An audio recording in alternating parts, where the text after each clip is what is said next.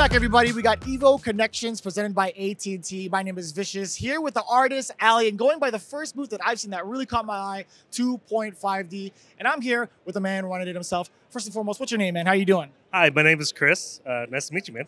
It's absolutely great to meet you. No, I've seen you like over the years with some really, really impressive stuff, but I've always wanted to know what out of all the pieces that you have here is your absolute favorite? You know, if I had to pull out just one piece, I'd have to say it's probably the uh, Chrono Trigger campfire scene that we have here. Longtime favorite Chrono Trigger fan, and it just brings back a lot of nostalgia.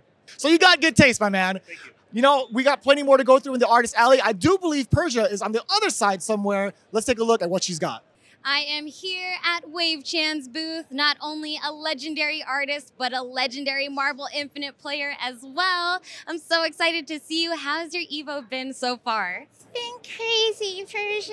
Just crazy. It just makes me happy to be here. Well, I'm happy to see you here again as well. Like I said, Legendary Artist has been at Evo many times and it's only getting bigger. As we're here, I would love for you to share your favorite art piece. Well, my favorite art piece is the Ultimate Marvel vs. Capcom piece I did 12 years ago. Oh my god. yes, I love the way you transform all your favorite characters into cats. If you're a cat lover out there, you definitely want to check out Wave Chan's booth.